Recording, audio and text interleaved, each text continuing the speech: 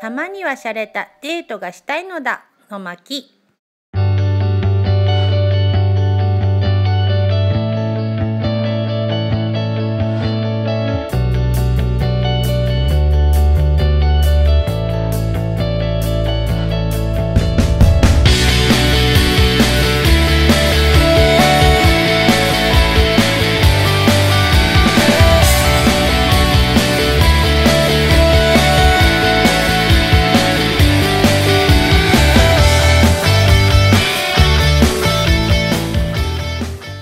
本日のユミナリエチャンネルはここまで。